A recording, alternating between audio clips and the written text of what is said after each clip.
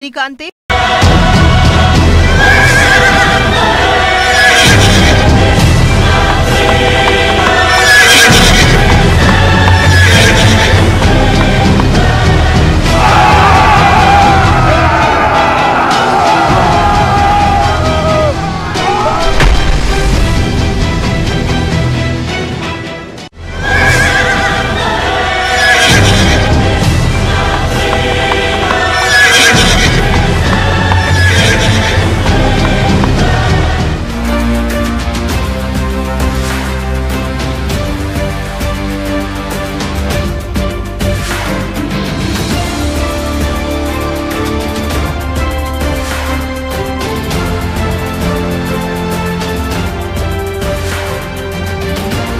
டெல்லி சட்டமன்ற தேர்தல் முடிவுகளினுடைய முன்னணி நிலவரங்கள் நமக்கு கிடைக்கப்பெற்றிருக்கின்றன.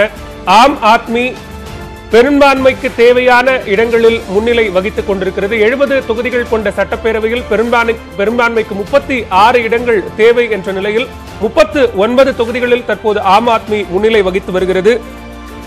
பதினைந்து இடங்களில் பாரதிய ஜனதா முன்னிலை வகித்து வருகிறது.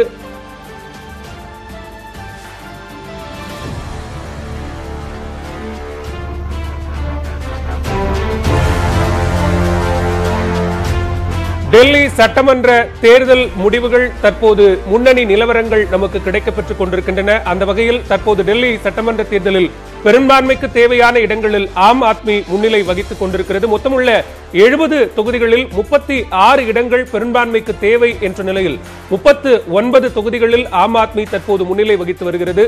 பதினைந்து தொகுதிகளில் பாரதிய ஜனதா கட்சி முன்னிலை வகித்து வருகிறது.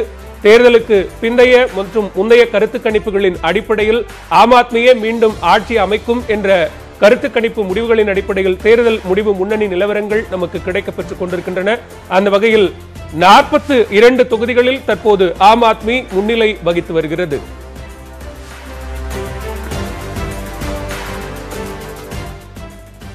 தொடர்ந்து தற்போது முன்னணி நிலவரங்கள் குறித்த விரிவான விவரங்களை சிறப்பு வரைகலை வாயிலாக விளக்கவிருக்கிறார் சிறப்பு செய்தியாளர் அசிப். அசிப் இனி உங்களிடம்.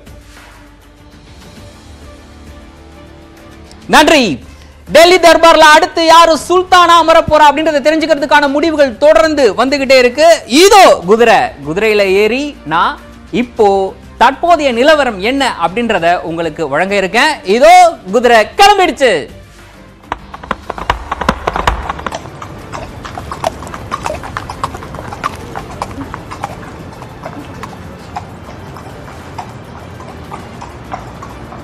பலா தற்போது கிடைக்கக்கூடிய இந்த முதற்கட்ட நிலவரத்தை வைத்து பார்க்கும்போது தேர்தலுக்கு முந்தைய கருத்து கணிப்பு மற்றும் தேர்தலுக்கு பிந்தைய கருத்து கணிப்பு இந்த இரண்டு கருத்து கணிப்புகளையும் எடுத்த ஒட்டுமொத்த அமைப்புகளையோட ஒன்னா சேர்த்து போல் ஆஃப் போல்ஸ் அப்படின்னு ஒன்று எடுத்தோம்னா என்ன ஒரு ஃபிகர் கிடைக்குமோ அதுதான் இப்போ கிடைச்சிட்டு இருக்கு அப்படின்னு சொல்லலாம். தற்போது கிடைக்கக்கூடிய தகவல் முதற்கட்ட முன்னிலை நிலவரங்களை வைத்து பார்க்கும்பொழுது இது முதற்கட்டம்னு சொல்கிறத விட ஏறக்குறைய அனைத்து தொகுதிகளான முன்னு முன்னணி நிலவரம் தற்போது கிடைக்கப்பட்டிருக்கு. இந்த முன்னணி நிலவரத்தில் மாற்றம் ஏற்படாத வகையில் இதுவே தொடரும் பட்சத்தில் அந்த போல் ஆஃப் போல்ஸில் என்ன அந்த எண் கிடைச்சது எந்த நம்பர் கிடைச்சதோ அதை தான் நம்மளால் பார்க்க முடியுது. அப்படி பார்க்கும் பொழுது ஆட்சி அமைக்க தேவை தேவையான அந்த போதுமான இடத்தை ஆம் ஆத்மி கட்சி பெற்றிருக்கு. பாரதிய ஜனதா கட்சி கடந்த தேர்தலை ஒப்பிடும் பொழுது மிகப்பெரிய முன்னேற்றத்தை கண்டிருக்கு அப்படின்றத நம்மளால பார்க்க முடியுது. கடந்த தேர்தலில் வெறும் மூன்று இடங்களில் மட்டும்தான் பாரதிய ஜனதா வெற்றி பெற்றிருக்கு. இந்த முறை பன்னிரண்டு இடங்கள் அதாவது கடந்த தேர்தலோட ஒப்பிட்டு பார்க்கும் பொழுது பன்னிரண்டு இடங்கள் கூடுதலாக முன்னிலை வகிக்கிறத நம்மளால பார்க்க முடியுது. ஆகவே இது என்னென்ன ஃபேக்டர்ஸ் இதுல ஒர்க் அவுட் ஆயிருக்கலாம் அப்படின்னு பார்க்கும்பொழுது சிறிது நேரத்திற்கு முன்னாடி நம்முடைய சிறப்பு செய்தியாளர் காயத்ரி ஒரு விஷயத்தை தெளிவாக தெளிவா சொன்னாங்க. அந்த நார்த் ஈஸ்ட் டெல்லி அதாவது வடகிழக்கு டெல்லி பகுதியை பொறுத்த வரைக்கும் ஆம் ஆத்மி தன்னுடைய அந்த கண்ட்ரோலை லைட்டா இழந்திருக்கிறத நம்மளால பார்க்க முடியுது. அதே போல கிழக்கு டெல்லியிலையும் கூட ஆம் ஆத்மி ஒரு சில இடங்கள்ல ஒரு சில இடங்களை இழந்திருக்கு. இந்த இடங்கள் தற்போது பாஜக பக்கம் இருக்கிறத நம்மளால பார்க்க முடியுது. ஏன்னா இந்த பகுதிகளில் தான் குடியுரிமை திருத்த சட்டத்திற்கு எதிராக மிகப்பெரிய போராட்டம் நடைபெற்றது. அதோட இந்த பகுதிகளில் தான் இஸ்லாமியர்கள் அதிகமாக வாழக்கூடிய பகுதிகள். இந்த பகுதிகளில் ஒருவேளை இங்க இந்த மக்கள் ஆம் ஆத்மி கட்சி ஆம் ஆத்மி கட்சியை தாண்டி மற்றொரு கட்சியை யோசிச்சா அது காங்கிரஸ் கட்சியாகத்தான் இருக்கும். அந்த ஓட்டுகள் காங்கிரஸ் கட்சிக்கு தான் போறதுக்கு வாய்ப்பு இருக்கு அப்படின்னு கணிக்கப்பட்டது. ஆனா தற்போது பார்க்கும்போது அந்த குறிப்பிட்ட இடங்களை பொறுத்த வரைக்கும் பாஜகவுக்கு போயிருக்கிறத நம்மளால பார்க்க முடியுது. அதே போல இன்னொரு மிக முக்கியமான ஃபேக்டர் என்னன்னா டெல்லி முழுவதும் இருக்கக்கூடிய விதிமுறைக்கு மீறி கட்டப்பட்ட அந்த காலனிகள் இது தொடர்பாக தேர்தலுக்கு முன்னர் ஆம் ஆத்மி கட்சிக்கும் பாஜகவுக்கும் இடையே ஒரு மிகப்பெரிய வாக்குவாதம் நடைபெற்றதுன்னு கூட சொல்லலாம். ஆம் ஆத்மி கட்சியை பொறுத்த வரைக்கும் நமக்கு நல்லா தெரியும். அவங்க வந்து ஒரு ஒரு முரட்டுத்தனமான நேர்மை இருக்கக்கூடிய ஒரு கட்சின்னு கூட சொல்லலாம். அதை முன் வச்சு தான் அந்த கட்சியினுடைய அந்த அடித்தளமே அந்த அமைஞ்சிருக்கு அப்படின்னு கூட சொல்லலாம். அப்படி பார்க்கும்பொழுது டெல்லி முன்னா டெல்லி முழுவதும் இருக்கக்கூடிய குறிப்பா மத்திய டெல்லியை தவிர்த்து மற்ற பகுதி முழுவதும் இருக்கக்கூடிய விதிமுறைக்கு மீறி கட்டப்பட்ட அந்த காலனிகளை பொறுத்த வரைக்கும் அதை வர வர வரையறைக்கு கொண்டு வரணும் அப்படின்னு பாரதிய ஜனதா என்ன பண்றாங்க? ஒரு புதிய சட்டத்தை கொண்டு வராங்க. அந்த சட்டத்தை ஆம் ஆத்மி கட்சி பயங்கரமா எதிர்த்தாங்க. அது என்னன்னா வெறுமனே ஒரு குறிப்பிட்ட தொகையை கொடுத்து விதிமுறை மீறி கட்டப்பட்டிருந்தாலும் கூட அதை விதிக்கு உட்பட்டு கொண்டு வர்றது மாதிரியான ஒரு ஏற்பாடு. இதை வந்து ஆம் ஆத்மி கட்சி எதிர்ச்சா எதிர்த்தாங்க. அதை பொறுத்த வரைக்கும் ஒரு லட்சக்கணக்கான மக்கள் பாதிப்படையக்கூடிய ஒரு விஷயம். ஆனால் ஆம் ஆத்மி கட்சியை பொறுத்த வரைக்கும் அதை கூடாது அப்படின்னு எதிர்த்தாங்க. அப்படி பார்க்கும்போது பரவலாக டெல்லி முழுவதுமே தற்போது ஒரு மாற்றம் அதாவது அந்த குறிப்பிட்ட ஃபேக்டர் ஒர்க் அவுட் ஆகிறதுக்கான வாய்ப்பு இருக்கா அப்படின்னு பார்த்தீங்கன்னா இருக்கு. ஏன்னா இந்த பதினஞ்சு இடங்களை பொறுத்த வரைக்கும் பாரதிய ஜனதா பெற்றிருக்கக்கூடிய அந்த முன்னிலை பெற்றிருக்கக்கூடிய இந்த பதினஞ்சு இடங்களை பார்க்கும் பொழுது பரவலாக இருக்கிறது. டெல்லி முழுவதும் இருக்கக்கூடிய அந்த கான்ஸ்டியூன்சியில் அவங்க பரவலாக இந்த முன்னிலையை பெற்றிருக்கிறாங்க. அதே போல் காங்கிரஸ் எடுத்துக்கிட்டோம் அப்படின்னா இஸ்லாமியர்களோட ஓட்டை அவங்க பெற தவறிவிட்டாங்களோ அப்படின்ற ஒரு ஏன்னா இந்த முதற்கட்ட தகவலை பார்க்கும் பொழுது முதற்கட்ட முன்னிலை நிலவரத்தை பார்க்கும் பொழுது அதை யோசிக்க தோன்றுது. அதோட இன்னொரு விஷயம் மிக முக்கியமாக பார்க்க போனீங்கன்னா பூர்வாஞ்சல்ஸ் சொல்லப்படக்கூடிய அதாவது யூபி மற்றும் பீகார்ல இருந்து வந்து இங்கே டெல்லியில் வசிக்கக்கூடிய அந்த மக்களை பொறுத்த வரைக்கும் அந்த மக்கள் தொடர்பாக ஒரு கருத்தை தேர்தலுக்கு முன்னர் ஆம் ஆத்மி கட்சியினுடைய தலைவர் அரவிந்த் கெஜ்ரிவால் முன் வச்சார். அதை பொறுத்த வரைக்கும் அவர் என்ன சொன்னார் அப்படின்னா வெறும் ஐநூறுரூபா செலவு பண்ணிட்டு டெல்லிக்கு வந்து வந்திருக்கக்கூடிய இந்த மக்கள் டெல்லி அரசு வழங்கக்கூடிய ஐந்து லட்சம் ரூபாய் மதிப்பிலான அந்த நலத்திட்டங்களை அனுபவிக்கிறாங்க அப்படின்றத அவரே ஒரு பாசிட்டிவான அம்சத்தில் தான் சொன்னார். டெல்லி அரசு இப்படிப்பட்ட ஒரு வெல்ஃபேர் ஸ்டேட்டாக இருக்குது இவ்வளோ பெரிய மக்கள் நல திட்டங்களை கொடுக்குது அப்படின்னு. ஆனால் எதிர்க்கட்சிகளை பொறுத்த வரைக்கும் அது வேற மாதிரியாக எடுத்துக்கொள்ளப்பட்டது அவங்க ஆம் ஆத்மி கட்சிக்கு எதிராக அரவிந்த் கெஜ்ரிவால் சொன்ன இந்த கருத்தை அவங்களுக்கு எதிராகவே ஒரு பிரச்சாரமாக எடுத்து சென்றாங்க. அதை பொறுத்த வரைக்கும் இது மக்களுக்கு கிடைக்கக்கூடிய நலத்திட்டங்களை அவர் விமர்சி விமர்சித்து பேசுகிறாரு வெளிமாநிலத்தை சேர்ந்தவங்க வந்து இந்த நலத்திட்டங்களை எடுத்துக்கிறாங்க அப்படின்னு அவர் சொல்கிறாரு அப்படின்ற மாதிரி எடுத்துகிட்டு போனாங்க. இப்போ அந்த ஃபேக்டர் எந்த அளவுக்கு ஒர்க் ஆயிருக்கு அப்படின்றதெல்லாம் கூட இனி அடுத்தடுத்த நிலவரங்கள் அதாவது ஒட்டுமொத்தமாக டெல்லியில் எந்தெந்த பகுதிகளில் பாஜக முன்னிலை பெற்றிருக்கு அப்படின்றத வச்சு பார்க்கும்பொழுது அந்த ஃபேக்டர் எந்த அளவுக்கு ஒர்க் ஆயிருக்கு அப்படின்றதையும் நம்மளால பார்க்க முடியும். ஆகவே ஒட்டுமொத்த பார்க்கும் பொழுது பாரதிய ஜனதாவை பொறுத்த வரைக்கும் ஒரு மிகப்பெரிய முன்னேற்றம்னு கூட சொல்லலாம். கடந்த தேர்தலை ஒப்பிடும் பொழுது பதினைந்து இடங்களில் முன்னிலை அப்படின்றது தற்போது பார்த்தீங்கன்னா பதினாறு இடங்களில் முன்னிலை வகிச்சுக்கிட்டு இருக்காங்க. அது வந்து அவங்களே கூட எதிர்பார்க்காத ஒரு விஷயம் கூட சொல்லலாம். ஏன்னா அவ்வளவு முன்னிலை பெற்றிருக்கிறாங்க அப்படின்னு. பலா இனி உங்களிடம்.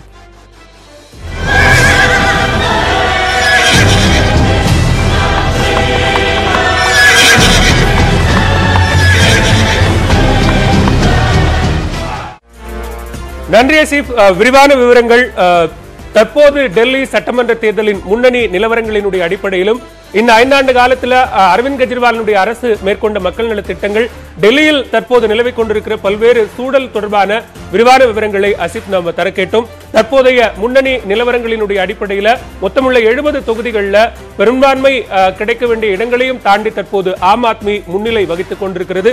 பதினாறு இடங்கள்ல பாரதிய ஜனதா கட்சி முன்னிலை வகித்துக் கொண்டிருக்கிறது. நாம் விவாதத்தை தொடரலாம் திருப்பிரியன் இங்க பிந்தைய கருத்து கணிப்புகள் சொன்ன முடிவுகள் தான் தேர்தலினுடைய முடிவுகளாக இருக்குமா அப்படிங்கறது பார்க்கிற அதே நேரத்துல காயத்ரி மற்றும் அசீப் குறிப்பிட்ட அந்த ஒரு சில அம்சங்களை பத்தி பேசலாம் அப்படின்னு நினைக்கிறேன். அஹ், பூர்வாஞ்சல் மற்றும் பஞ்சாபிகளினுடைய அந்த நிலை டெல்லியில இருந்த பல்வேறு விவகாரங்கள்ல கெஜ்ரிவால் எடுத்த முடிவுகள் அப்படிங்கிறது தேர்தல்களில் தேர்தல்கள்ல வாக்குகளா மாறி இருக்குமா எதிரொலிச்சிருக்குமா அப்படிங்கிற முக்கியமான கேள்வி. ரிசல்ட் நமக்கு அதுதான் காட்டுதான் இது முதல்ல வந்து இந்த பிஜேபி வந்து ஒரு இந்து கன்சாலிடேஷன் எதிர்பார்த்து அவங்க பிரச்சாரத்தை கட்டமைச்சாங்க.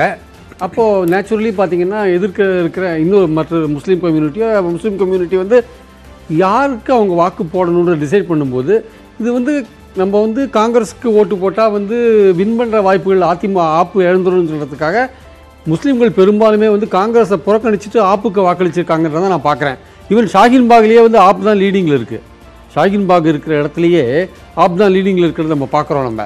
அப்படி இருக்கும்போது இந்த கன்சாலிடேஷன் இந்த கன்சாலிடேஷன் வந்து காங்கிரஸை நோ இந்த மைனாரிட்டி கன்சாலிடேஷன் வந்து காங்கிரஸை நோக்கி போகாமல் வின் பண்ணுற நம்ம வந்து வாக்குகள் போட்டால் வந்து இது வாக்குகள் பிரிஞ்சு பிஜேபி வெற்றி பெற்றுமோன்னு மைனாரிட்டிஸ் வந்து ஏஐபிக்கு ஓட்டு போட்டுருக்கிறது நமக்கு தெளிவாக தெரியறத பார்க்குறோம்.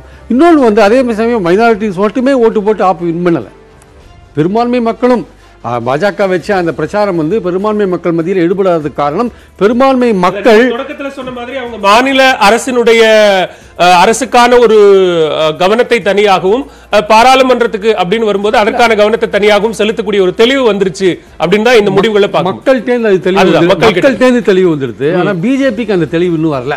சரி. பிஜேபி இன்னும் என்ன நினைக்கிறாங்க? மோடியை ப்ரொஜெக்ட் பண்ணியே நம்ம எல்லா எலெக்ஷன்ஸையும் வின் பண்ணலாம். மோடி இந்த மாதிரி நேஷனலிசம் போன்ற இஷ்யூஸு இந்த க இந்து கன்சாலிடேஷன் இந்த மாதிரி விஷயங்கள் பாகிஸ்தான் பேரை சொல்லியே நம்ம வின் பண்ணிடலான்ற அந்த பெர்ஸ்பெக்டிவ் இருக்குல்ல பிஜேபி சைட்லேருந்து வர பெர்ஸ்பெக்டிவ் அதை அவங்க மாற்ற வேண்டிய சூழல் வந்திருக்கு. இன்னும் அவர்கள் வந்து எமோஷனல் இஷ்யூஸ்லேயே போயிருந்தாங்கன்னா ஒரு சென்சிட்டிவ் இஷ்யூஸ்லேயே போயிருந்தாங்கன்னா மக்கள் வந்து மேலும் வந்து அவங்கள புறக்கணிக்கிற ஒரு நிலை வரும். நீங்கள் மாநிலத்தில் வந்து இதெல்லாம் வந்து ரீஜனல் லெவல் விஷயம் இது மோடின்னு நாளைக்கு ஒரு விஷயத்தை கட்டமைக்கும் போது இதெல்லாம் எடுபடாது நீங்கள் இப்போ சொல்லலாம். பட் இதெல்லாம் கல்மினேட் ஆகும் பொழுது ஒன்றா கல்மினேட் ஆகும்போது எல்லா ஸ்டேட்ஸ்லையும் பெரும்பான்மை ஸ்டேட்ஸில் மாறிட்டே நிலைமை வரும்பொழுது நீங்கள் உச்சியில் வந்து பேஸ்மெண்ட் வீக்காக இருக்கும்போது உச்சியில் நீங்கள் ஸ்ட்ராங்காக இருக்க முடியாது. ஸோ உங்களுடைய ஸ்ட்ராட்டஜியை நீங்கள் மாற்ற வேண்டிய கட்டாயம் இருக்குது நீங்கள் எமோஷனல் இஷ்யூஸ் உங்கள் அஜெண்டா படி எடுத்துன்னு போங்க. சைமல்டேனியஸாக யூ ஷோ சம் டெவலப்மெண்ட் நீங்கள் எம்ப்ளாய்மெண்ட் கொடுங்க வேலைவாய்ப்பு கொடுங்க பல விஷயங்கள் இண்டஸ்ட்ரியல் குரோத்தை கொண்டு வாங்க. பல விஷயங்கள் அதில் இருக்கிறத பார்க்குறோம். ஸோ அதனால் வந்து டெல்லி நான் ஏற்கனவே மறுபடியும் மறுபடியும் சொல்கிறேன் டெல்லியோட மக்கள் மனநிலைன்றது இந்திய மக்கள் மனநிலை. அதை வந்து பிஜேபி புரிஞ்சுட்டு தன்னுடைய நெரேட்டிவை வந்து தன்னுடைய அப்ரோச்சை வந்து அணுகுமுறையை இனிமேலாவது மாற்றிக்க வேண்டிய கட்டாயம் இருக்கு. திரு ஸ்ரீராம் சேஷாத்ரி அந்த மாதிரி ஒரு எமோஷனல் இஷ்யூஸ் மட்டுமே போதும் அப்படின்னு அஹ், நின்னுட்டாங்களா பாரதிய ஜனதா? அந்த கட்டத்தோடவே இது சரியாகிடும் இதன் மூலமாகவே நம்ம வாக்குகளை அறுவடை செய்து விடலாம் அப்படிங்கிற எண்ணத்துல அவங்க இருந்துட்டாங்களா? நான் அப்படி நினைக்கவே இல்லை சார். ஏன்னா பாஜக மத்தியில் ஆட்சியில் ஆட்சிக்கு வந்ததே கூட ஒரு டெவலப்மெண்டல் அஜெண்டால தான் வந்ததே. அண்ட் அதை வந்து அவங்க மீறி இருக்காங்கன்னு நான் யோசிக்கவே இல்லை. இதில் இன்னொன்று என்ன யோசிக்கணும்னா எத்தனாவது ரவுண்டு கவுண்டிங் போயிருக்குன்னு பார்க்கணும். ஏன்னா வந்து பிந்தைய ரவுண்டுகளில் பாஜகவுக்கு வந்து ஒரு அதாவது ஒரு நான்கு மணிக்கு பிறப்பு பிற்பாடு கிட்டத்தட்ட ஒரு இருபது இருபத்தைந்து சதவீத வாக்குப்பதிவுகள் நடந்தது அப்படின்றத நம்ம பார்த்தோம்.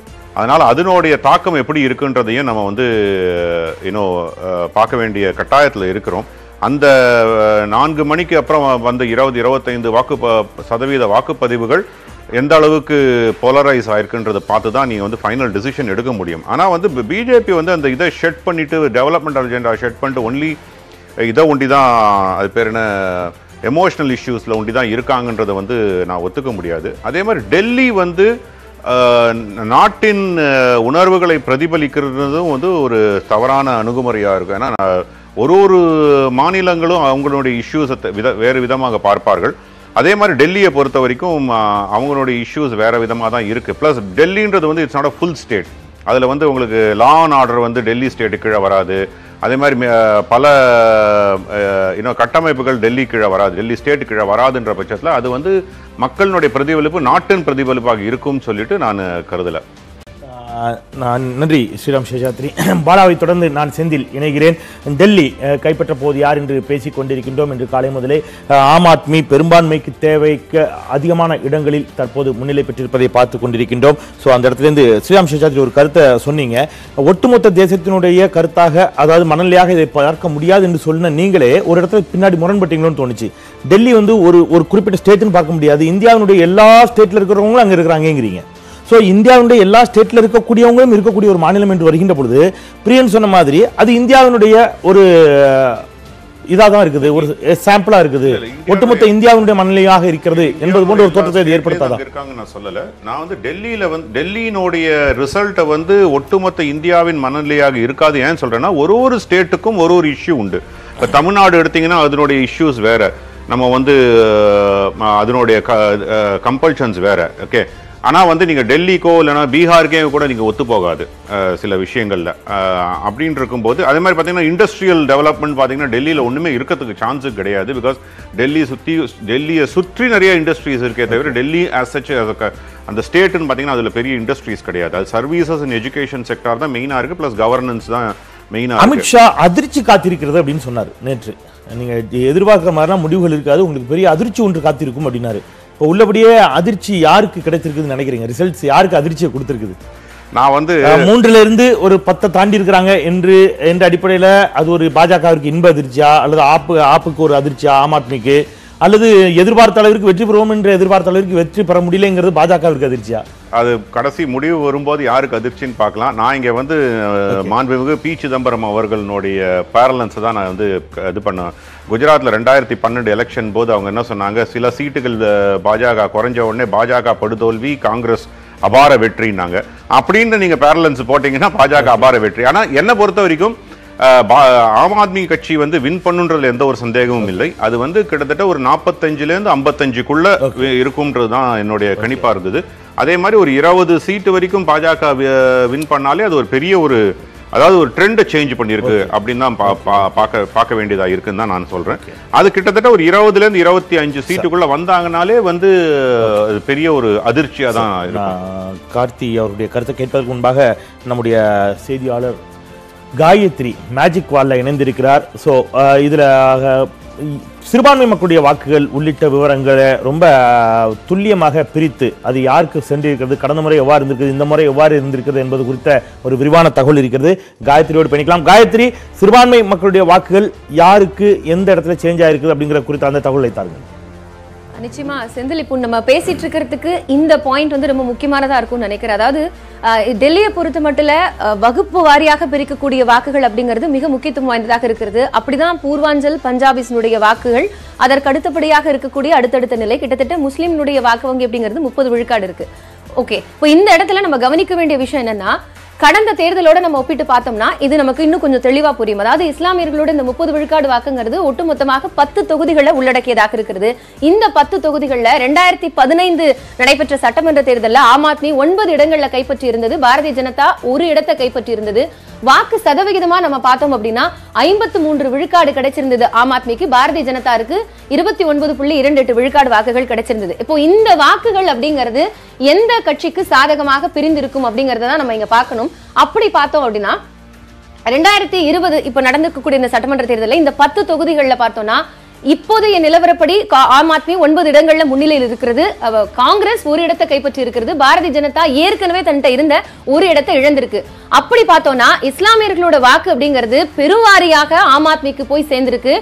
அதுல ஒரு இடத்துல காங்கிரஸ் வந்து முன்னிலையில் இருக்கிறது. பாரதிய ஜனதா ஏற்கனவே தன்னிட்ட இருந்த ஒரு இடத்தை இழந்திருக்கிறது முன்னணி நிலவரத்தின் அடிப்படையில். இது எப்படி மாறுங்கிறது நம்மளுடைய முடிவுகளை பொறுத்து தான் நம்ம தெரிஞ்சுக்க முடியும். அதே மாதிரி இன்னொரு முக்கியமான காரணம் என்னன்னு பார்த்தோம் அப்படின்னா டெல்லியை பொறுத்து மட்டும் இல்ல இந்த குடிசை வாழ் பகுதி மக்கள் அன்றாடம் வேலைக்கு போகக்கூடிய தொழிலாளர்கள் அடிப்படை தொழிலாளர்கள் இவங்க எல்லாருடைய வாக்கு வங்கி அப்படிங்கிறது யாருக்கு போயிருக்கு அப்படின்னு பார்த்தோம்னா வருமானத்துல குறைவான வருமானம் ஈட்டக்கூடிய மக்களுடைய வாக்கு சதவிகிதம் அப்படிங்கிறது கடந்த தேர்தலோட ஒப்பிட்டு பார்த்தோம்னா ரெண்டாயிரத்தி பதினைந்துல இருக்கக்கூடிய முப்பத்தி இரண்டு தொகுதிகளில் அவர்களுடைய வாக்கு வங்கி அப்படிங்கிறது முப்பத்தி ஓரு இடங்கள்ல ஆம் ஆத்மி வெற்றி பெற்றிருந்தது. பிஜேபி ஒரு இடத்துல வெற்றி பெற்றிருந்தது. அப்ப இந்த தேர்தல் அது எப்படி ரிஃப்ளெக்ட் ஆயிருக்கு அப்படின்னு நம்ம பார்த்தோம்னா இப்ப இருக்கக்கூடிய முன்னணி நிலவரத்துல இருபத்தோரு இடங்கள்ல ஆம் ஆத்மி இருக்கிறது. ஏற்கனவே இருந்ததை விட ஐந்து இடங்கள்ல குறைந்து இருக்கிறது ஆம் ஆத்மிக்கு? அந்த ஐந்து இடங்களையுமே பாரதிய ஜனதா அறுவடை செய்திருக்கிறது. அப்போ இன்கம் லோவா இருக்கக்கூடிய பகுதிகள் கிட்டத்தட்ட இந்த முப்பத்தி ரெண்டு சீட் வந்து பாரதிய ஜனதாவிற்கு ஐந்து இடங்கள் சாதகமாக கிடைத்திருக்கிறது. அங்க கூட காங்கிரஸ் வந்து ஒரு இடத்துல கூட வெற்றி பெறல. ஆக இது ஆம் ஆத்மிக்கும் பாரதிய ஜனதா அதாவது ஆம் ஆத்மியினுடைய வாக்கு வங்கி குறையுது அப்படின்னா அது பாரதிய ஜனதாவை நோக்கி நகர்ந்திருக்கு. இந்த ஃபேக்டர்ஸ்குள்ள அப்படிங்கறத பார்க்க முடியுது. இப்ப லோவர் இன்கம் எப்படி இருக்கோ அதே மாதிரி தான் இந்த அப்பர் இன்கம் வாங்கக்கூடிய மக்கள் இருக்கக்கூடிய பகுதி அப்படின்னு பார்த்தோம்னா அது ஒன்பது தொகுதிகள் இருக்கிறது. இந்த ஒன்பது தொகுதிகளில் ரெண்டாயிரத்தி பதினைந்து தேர்தலில் ஆம் ஆத்மி பத்து இடங்களில் பெற்றிருந்தது. அதாவது ஒன்பது இடங்கள் தான் இப்ப முன்னிலை நமக்கு கிடைத்திருக்கிறது. ரெண்டாயிரத்தி இருபது தேர்தல் முடிவுகள்ல இப்போ ஒன்பது இடங்கள்ல தான் முன்னணி நிலவரம் தெரிஞ்சிருக்கு. ஆனா இந்த பத்து இடங்களுமே ஆம் ஆத்மி கடந்த முறை வெற்றி பெற்றிருந்தது. இப்போ ஒன்பது இடங்கள்ல முன்னிலை நிலவரம் வந்திருக்கிறதுனால இதுல ஏழு இடங்கள்ல வந்து ஆம் ஆத்மி இருக்கு வெற்றி பெற்றிருக்கிறது அதாவது முன்னிலை பெற்றிருக்கிறது. இரண்டு இடங்கள் ஏற்கனவே இருந்ததை விட இரண்டு இடங்களை இழந்திருக்கு. நான் ஏற்கனவே குறிப்பிட்ட மாதிரி ஆம் ஆத்மிக்கு எங்கெல்லாம் தன்னுடைய வாக்கு வங்கியினுடைய சதவிகிதம் குறைகிறதோ அது நேரா பாரதிய ஜனதாவுக்கு போகக்கூடிய ஒரு போக்க இந்த இந்த முக்கியமான சில காரணிகளோட அடிப்படையில நம்ம புரிஞ்சுக்க முடியுது செந்தில். அப்படிதான் இஸ்லாமியர்களோட வாக்கு வங்கியாக இருக்கட்டும் அதிக வருமானம் குறைந்த வருமானம் வாங்கக்கூடிய அடிப்படை தொழிலாளர்கள் டெல்லியை சுத்தி இருக்கக்கூடிய அன்றாட கூலி வேலை செய்யக்கூடிய மக்கள் இவங்க எல்லாருமே ஓரளவிற்கு ஆம் ஆத்மிக்கு சப்போர்ட் பண்ணியிருந்தாலும் அதற்கு அடுத்தபடியாக அவர்கள் தேடி இருக்கிறது பாரதிய ஜனதா அப்படிங்கறத இப்போ நமக்கு கிடைச்சிருக்கிற இந்த முன்னணி நிறுவனங்கள் மூலமா தெரிஞ்சுக்க முடியுது. காயத்ரி கார்த்திகேயன் இப்போ வந்திருக்கக்கூடிய இந்த முடிவுகள்ல இருந்து நமக்கு சில விஷயங்கள் கிடைக்கும் அப்படின்னா குறிப்பா அந்த சிஏஏ என்ஆர்சி அந்த போராட்டத்திற்கு பிறகு நடைபெற்றிருக்கக்கூடிய தேர்தல் என்று எடுத்துக்கொண்டால் இது இந்த சிஏஏ ப்ரொட்டஸ்ட் அப்படிங்கிறது இந்த தேர்தலில் எதிரொலித்திருக்கிறது என்று எடுத்துக்கொள்ள முடியுமா? இதை அதுக்கான ஒரு கருத்துக்கணிப்பு கருத்து கணிப்பு என்பது போன்ற ஒரு பார்வையோட அதுக்கான ஒரு மக்களுடைய என்ன வெளிப்பாட்டை இந்த தேர்தல் வெளிப்படுத்தி இருக்கிறது என்ற அர்த்தத்தில் இதை புரிஞ்சுக்க முடியுமா? நான் முன்பே சொன்னதுனால மக்கள்கிட்ட வந்து ஒரு கருத்து கணிப்பில் வந்து எந்தெந்த பிரச்சனைகளை முக்கியமாக பார்க்குறாங்கன்றப்போ வளர்ச்சி வேலையின்மை முன்ன விலைவாசி உயர்வு. வளர்ச்சி விலை விலைவாசி உயர்வு அப்புறம் வேலையின்மை. இதுதான் பிரதான பிரச்சனைகளாக வந்து மக்கள் வந்து பார்த்துருக்காங்க. அவங்க கருத்து கணிப்புலாம் வந்து அவங்க சொன்ன விஷயங்கள். சிஏஏக்கு வந்து ஒரு சதவீத மக்கள் மட்டும்தான் இது பண்ணாங்க. ஆனால் அந்த சிஏஏவை தான் வந்து முன்னிறுத்துச்சு இந்த பிஜேபி இதை முன்னாடி சொன்னவங்க. அதை முன்னெடுத்தினதை வந்து மக்கள் புறக்கணிச்சிருக்காங்க. ஓகே. அப்போ பிஜேபியோட வியூ பாயிண்ட் சிஏஏ முன்னிறுத்தி இதுதான் மக்கள் நாட்டினுடைய பிரதான பிரச்சனை. இதுக்கு தான் நீங்கள் மக்களை இதுக்கு வாக்களிங்க அப்படின்னு சொல்லி கேட்டது இருக்கு இல்லையா? அதை வந்து மக்கள் நிராகரிச்சிருக்காங்க. அந்த ஹேட் ஸ்பீச் ஒரு ஒரு ஒரு ரஃப் எஸ்டிமேட் சொல்லுது. சென்ற ஆண்டு ரெண்டாயிரத்தி பதினாலு ஐ மீன் போன ஆட்சி பிஜேபி உருவானப்போ ரெண்டாயிரத்தி பதினாலுலேருந்து இன்றைக்கு வரைக்கும் அந்த ஹேட் ஸ்பீச் இருக்குல்ல வெறுப்போட பேசுறதுன்றது வந்து எழுநூறு மடங்கு உயர்ந்திருக்கு அப்படின்றாங்க. ஒரு ரஃப் எஸ்டிமேட்ல எவ்ரிடே ஒவ்வொரு நாளைக்கு ஒவ்வொரு பிஜேபி தலைவர் வந்து ஒவ்வொரு நாளும் ஒருத்தர் வந்து இந்த மாதிரி பேச்சுக்கள் தொடர்ந்து வன்மமான பேச்சுக்கள் பேசுறது இருக்கு இல்லையா? அது வந்து ஒவ்வொரு நாளும் ஒருத்தர் பேசியிருக்காங்கன்னு ஒரு ரஃப் எஸ்டிமேட் சொல்லுது. இந்த மாதிரியான ஒரு பிரச்சாரத்தை ஒரு பிரிவினை ஒரு இந்த தேசபக்தி இல்லை வந்து இந்த மஸ்குலர் நேஷனலிசம் இருக்குல்ல இதை மட்டும் முன்னிறுத்தி செஞ்ச பிரச்சாரத்தை வந்து மக்கள் வந்து புறக்கணிச்சிருக்காங்கன்றதை நம்ம இதை ஏற்றுக்கணும் இது நீங்கள் வந்து ஒரு அந்த மத்தியில் இருக்கிற பிஜேபி அரசுக்கான ஒரு இல்ல அது அப்படி எடுத்துக்கிட்டா ஓரளவு அது கன்சால்டேட் பண்ணிருக்குது அப்படிங்கிற கேள்வி. ஏன்னா மூன்று இடங்களில் இருந்து இன்றைக்கு பத்துக்கும் மேற்பட்ட இடங்களில் அதற்கு. காரணம் வந்து இன்னொரு பதினாறு ஆல்டர்னேட்டிவா இடங்கள் இருக்கக்கூடிய முன்னிலை அப்படின்னு சொன்னா காங்கிரஸ்ன்றது வந்து ரெக்கனிங்லேயே இல்லை ஒரு இடங்கள்ல முன்னிலை இருக்குது அது ஒரே ஒருத்தர் கூட அந்த மைனாரிட்டி தான். அந்த ஹரித் யூ யூசப்னு யாரோ ஒருத்தர் வந்து ஒரே ஒரு முஸ்லீம் வேட்பாளர் மட்டும்தான் அந்த காங்கிரஸ்க்கு லீடிங்ல இருக்க ஒரு சீட்டும் அதே தான் மித்தபடி வந்து காங்கிரஸ் இந்த ரெக்கனிங்லேயே கிடையாது. சென்ற முறை வாங்கினது வந்து ஒன்பது புள்ளி ஏழு பர்சன்ட் இந்த முறை வந்து ஐந்து ஆறுக்குள்ள வந்துருமோ அப்படின்ற ஒரு அச்சம் இருக்கு காங்கிரஸோட நிலை. ஏன்னா அவங்களுக்கு வேட்பாளர்களும் வந்து முன்னிறுத்த முடியல. காங்கிரஸ் முதல்வர். ஒரு போட்டியே வந்து ரெண்டு கட்சிகளுக்கு நடுவில் தான் so far want of option வந்து யாரும் இல்லாததுனால தோக்காத கட்சிக்கு கொஞ்சம் பொதுவா மக்கள் ஓட்டு போட மாட்டாங்க. இவங்களுக்கு போடுறதுக்கு வாய்ப்பு விருப்பம் இல்லாதனால கூட வந்து திருப்பி பிஜேபிக்கே மீதான இந்த ஆன்டி இன்கம்பன்சி பாஜகவிற்கு சென்றிருக்கிறது. தேர்தல் ஆன்டி. இன்கம்பன்சிக்கு ஆன்டி இன்கம்பன்சி பிஜேபி இல்ல ஆம் ஆத்மி பார்ட்டிக்கு இல்ல. ஆனா அது ஆம் ஆத்மி பார்ட்டிக்கு வந்து வாக்களிக்க விரும்பாதவர்கள் வந்து காங்கிரஸை தான் ஒரு ஆப்ஷனா வந்து ஒரு ஒரு விருப்பமா வந்து ஒரு எடுக்க எடுக்கவே இல்லைன்றதான் நம்ம இதுல புரிஞ்சுக்க வேண்டியிருக்கு. சரி. ஓகே நம்ம அந்த இடத்துல சிறிய இடைவெளிக்கு செல்லலாம். இடைவெளிக்கு பிறகு பிரியன் அவருடைய கருத்துக்களை கேட்கலாம். அசீஃபும் நம்மோடு இணைய தயாராகி கொண்டிருக்கிறார். ஸோ குதிரையும் தயாராகிட்டு இருக்குது நம்ம ஒரு சின்ன பிரேக்குக்கு அப்புறம் பேசலாம் இணைந்திருங்கள்.